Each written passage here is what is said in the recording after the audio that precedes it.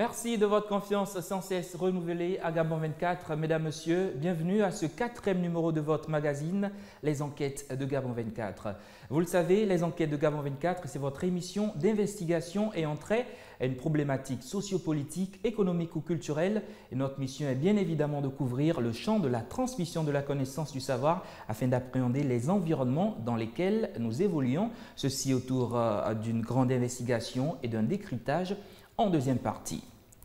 Suite aux révélations issues de notre dernière investigation intitulée Bellinga Gate, certaines informations nous sont parvenues selon lesquelles Frank Ping, le fils de Jean Ping, aurait usé du même procédé, c'est-à-dire corruption et retrocommission pour avoir le marché de la logistique et de la manutention auprès de l'opérateur pétrolier Adas Petroleum, filiale du groupe chinois Sinopec. En effet, sa trame, qui jusque-là a travaillé avec ADAX, n'a pas digéré cette rupture abusive de contrat au profit d'une euh, GPLS, Gabon Petroleum Logistique et Services, propriété de Frank Ping, qui sortait de nulle part et qui n'avait visiblement aucune expérience en la matière. Et celle-ci a porté l'affaire devant les tribunaux. Et pour en savoir un peu plus, notre équipe d'enquête s'est rendue à Port-Gentil, la capitale économique du Gabon. Pour vous, voici les tribulations autour d'Adax Petroleum. Nous vous prions d'attacher votre ceinture n'est pas fumée, veuillez vérifier que le dossier et la table de vote sont bien enlevés. Merci. Ensuite, mesdames, messieurs, pour votre confort et notre sécurité, il est strictement interdit de déposer des bagages au-dessus des secours, d'utiliser des téléphones et autres appareils électroniques à bord. La ville de Port-Gentil est la capitale de la province de l'Ogooué-Maritime au Gabon. Elle compte 150 000 habitants. Elle se trouve en pays Orungu, sur l'île Manji. Langue de sable recouverte de prairies et de forêts inondées, et autrefois peuplée de buffles, d'éléphants, d'hippopotames, de sangliers. Il faut dire que l'économie du Gabon repose essentiellement sur la production et l'exportation du pétrole. Celui-ci représente près de 80% des exportations du pays, 50% du produit intérieur brut et 60% des recettes fiscales. La plupart des gisements se trouvent à Port-Gentil et sa région. C'est dans cette ville que la problématique liée aux rétrocommissions et corruption évoquée dans les scandales Sino Hydro et Bellinga nous conduit.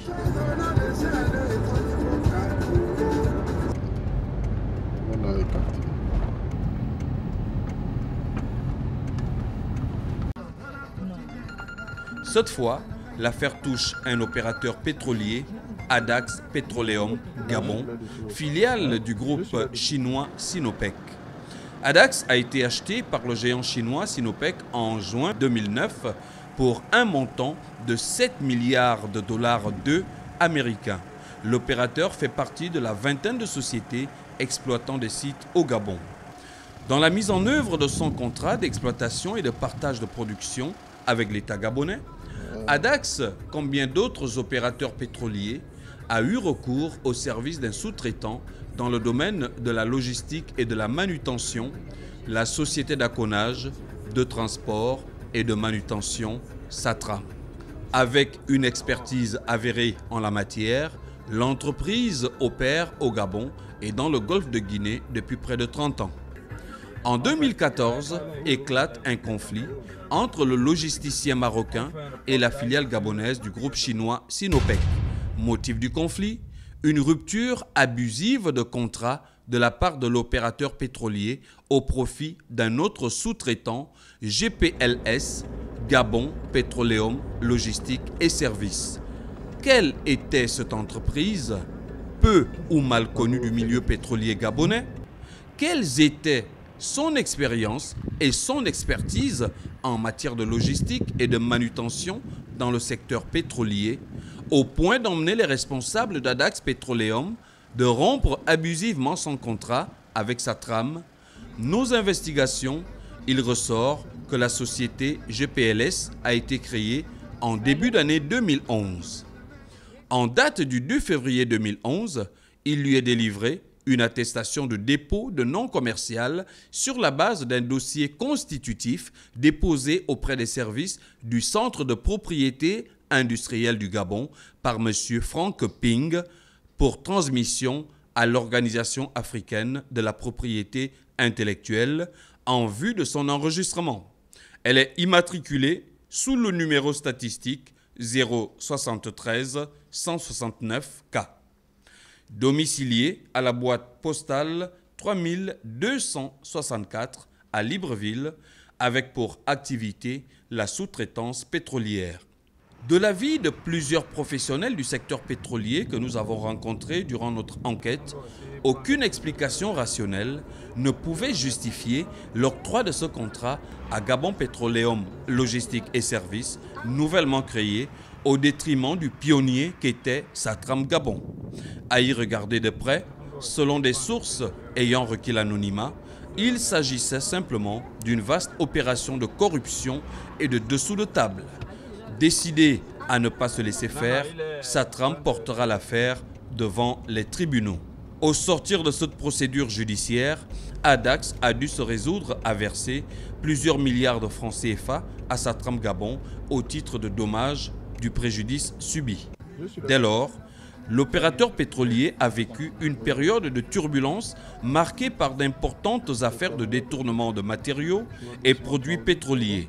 Une situation confuse qui aurait été à l'origine des licenciements de Léon Mévian, directeur général adjoint chargé des opérations, et Arnaud Hébé, directeur de la logistique. Comme on le voit, de l'affaire Bellinga à celle d'Adax, en passant par Sino Hydro, l'on retrouve la constellation Ping, faite d'argent, issue des rétrocommissions et autres opérations dans les secteurs miniers et du pétrole aussi bien au Gabon que dans certains pays de la sous-région, à l'exemple du Tchad, dont le même Frank Ping représentait les intérêts au Gabon en tant que consul. Cet argent financerait-il certaines opérations liées au processus électoral en cours au Gabon et par extension du candidat Jean Ping L'on serait tenté de répondre par l'affirmative au regard du contenu de certains documents sur lesquels nous avons pu mettre la main au cours de notre enquête. Des documents relatifs au montage d'un dossier se rapportant aux événements de septembre 2009 à Port-Gentil dans l'optique d'assigner Ali Bongo Ndimba en justice. Le 25 juillet 2016, le mois dernier, Maître Emmanuel Altit, domicilié au 95 rue de Courcelles à Paris, adressé une correspondance à Jean Ping par le truchement d'un certain Armand Angot demeurant en Belgique. Dans cette correspondance, qui n'était en fait qu'une réponse à la sollicitation qui lui avait été faite, l'avocat parisien propose un plan d'action arrêté de commun accord avec les représentants de Jean Ping, qu'il décline en plusieurs étapes. Étape 1. Recherche, dépouillement et analyse de tous les éléments disponibles concernant la répression menée par les autorités, notamment les éléments que vous nous avez remis. Étape 2. Première évaluation de la situation factuelle et juridique et détermination des besoins, notamment concernant l'identification des victimes et la collecte d'attestations. Étape 3. Élaboration d'un document simple d'utilisation permettant à nos contacts sur place de comprendre ce qu'il est attendu d'eux. Étape 4. Élaboration d'un formulaire à faire remplir par nos contacts sur place aux victimes et aux témoins des événements. Étape 5. Formation via Skype de deux personnes ressources chargées de coordonner et de vérifier les enquêtes et la collecte d'attestations ainsi que la collecte d'éléments documentaires. Et enfin, étape 6, sur la base des attestations et éléments documentaires, qui nous auront été envoyés, première note de synthèse listant les différentes options permettant d'exploiter au mieux les informations recueillies. Au regard de ce qui vient d'être décliné, l'on comprend aisément que Jean Ping s'apprêterait à poursuivre Ali Bongo Ndimba en justice sur les événements post-électoraux de septembre 2009 à Port-Gentil. Cependant, l'on ne serait pas bien loin d'une opération de manipulation à en juger par les propositions faites par maître Emmanuel Altit.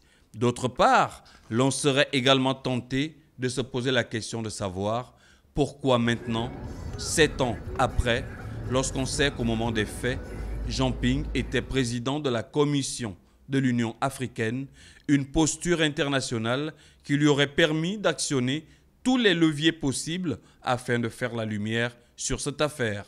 Qu'à cela ne tienne, l'avocat parisien a accompagné sa correspondance d'une demande de provision d'honoraires s'élevant à 84 000 euros, toutes taxes comprises, soit un peu plus de 55 millions de francs CFA à verser en deux règlements de 42 000 euros. Le premier règlement a été effectué le 3 août 2016 par Jean-François Ping comme donneur d'ordre et le bénéficiaire étant le maître Alti du barreau de Paris. Ceci confirme ainsi le lien entre toutes les composantes de la parentèle.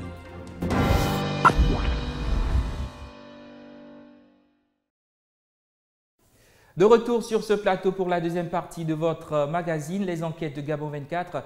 Et l'auteur de cette enquête est déjà avec nous sur ce plateau, Monsieur Jean-Pascal Non, bonjour. Bonjour Aziz. Alors, euh, du Bellinga Gate à Adax Petroleum, peut-on dire qu'il y a un lien?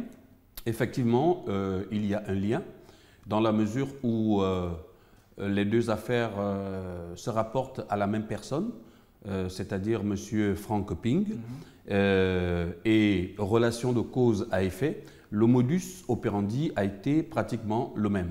C'est-à-dire euh, de la manière dont il emmène euh, ces mecs, l'entreprise chinoise, pour valser euh, sans trop savoir comment le Brésilien CVRD, qui avait une expérience et une expertise dans l'exploitation du fer, c'est de la même manière que pour ce qui concerne ADAX, il n'emmène pas une entreprise, il crée une entreprise.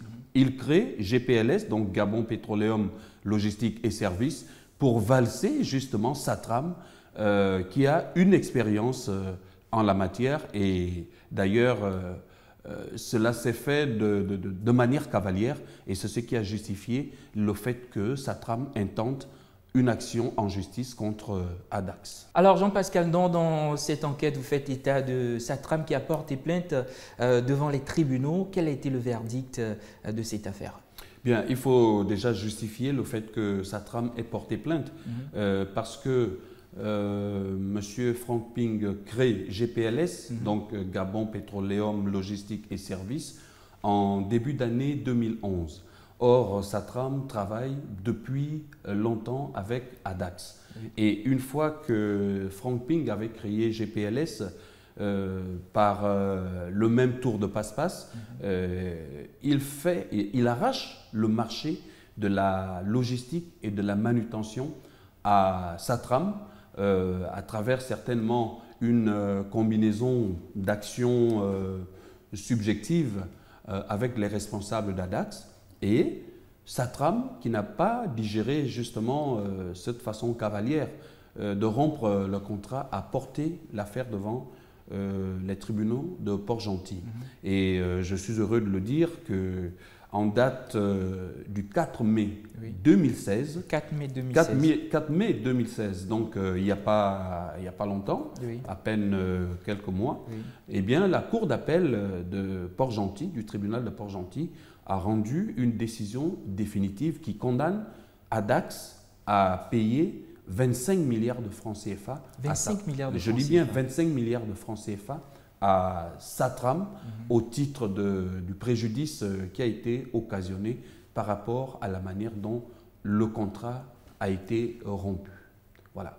Donc, et cette décision de justice, euh, elle existe, mhm. elle est euh, consultable et les magistrats qui ont rendu cette justice sont également vivants. Ce sont des informations que euh, tout le monde a la latitude de vérifier. Alors, euh, dans l'enquête, vous faites état d'une procédure judiciaire qui serait en cours contre Ali Bongo Andiba suite aux événements de 2009. Euh, peut-on encore savoir un peu plus?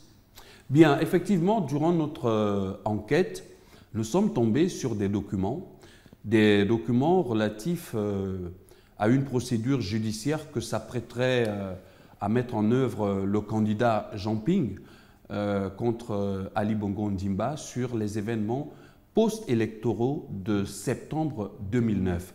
Donc nous avons pu mettre la main sur une correspondance de Maître euh, Alti, qui est bien connu des milieux africains parce qu'il défend également mhm. l'ancien président euh, de Côte d'Ivoire, Laurent Gbagbo. Donc, euh, Maître Alti, suite à une sollicitation faite par M. Jean-Ping, mhm. répond à ce dernier par le truchement d'un certain Ango, Armand Ango, qui lui résiderait en Belgique. Alors, il lui propose euh, une euh, méthodologie de travail en plusieurs étapes. Mm. Euh, et c'est ce qui a surtout retenu notre attention, c'est que pour des événements qui ont eu lieu en septembre 2009, aujourd'hui, M. Ping voudrait porter plainte et l'avocat décline une procédure à travers laquelle il va falloir former des gens. c'est comme si, quelque part, on voudrait aboutir euh, à une sorte de manipulation. Parce que lorsque les gens témoignent pour euh, une affaire en justice, en général, c'est naturel. Euh, les témoignages se rapportent uniquement aux faits. Donc aux faits de septembre 2009. Et l'on ne comprend pas trop pourquoi. Pour cela, il va falloir donner une formation spéciale à ces personnes ressources qui pourraient témoigner comme si c'était quelque chose euh, de, de, conçu dans l'optique de manipuler l'opinion. Alors tout de suite, euh, on se pose la question, peut-on s'attendre à un dossier solide et fiable contre Ali Bongo Andiba dans, ce, dans cette affaire?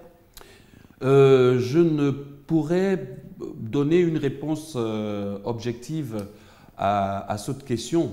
Comme je le disais tantôt, les événements se sont déroulés en septembre 2009. Euh, Donc, euh, il y a eu des, enquêtes. Euh, le Parlement gabonais avait initié une mission à Port-Gentil. Mhm. Et je crois que certaines ONG également étaient allées à Port-Gentil pour les mêmes raisons. je ne sais pas si c'est sur cette base que ce dossier sera bâti, mhm. ou alors, comme nous l'avons lu dans la lettre de l'avocat, ils envisagent fabriquer euh, un, autre, un autre dossier. Alors, sur la fiabilité de ce dossier, là encore, euh, il y a euh, quelques interrogations, parce qu'il ne faut pas oublier qu'au moment des faits, M. Jean-Ping était président de la Commission de l'Union africaine. Il avait une posture internationale, mhm. il avait une certaine puissance, il était à la tête de l'Afrique. Et je pense qu'à ce moment-là, euh, M. Jean-Ping avait euh, toute la latitude de faire la lumière à travers euh, sa position de l'époque, de faire faire de la lumière sur les événements de Port-Gentil en septembre 2009. Ça n'a pas été le cas. Je ne sais pas si sept ans après, on aura un dossier aussi fiable qui pourrait justement emmener à une action euh, justifiable aujourd'hui. Alors, euh, jusque-là, M. Jean-Ping a toujours dit que ses enfants sont des adultes et qu'ils sont responsables de leurs actes. Mais dans ce reportage, vous faites un lien entre les enfants de Ping et lui-même. Qu'en est-il exactement?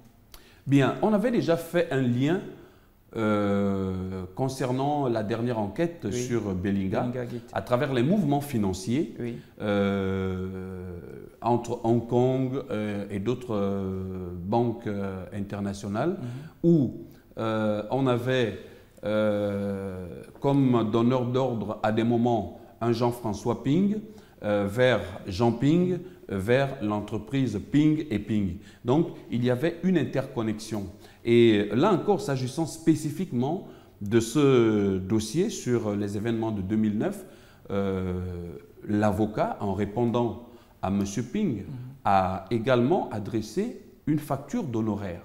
Et nous avons euh, également pu mettre la main sur euh, le document financier pour le règlement de ces honoraires.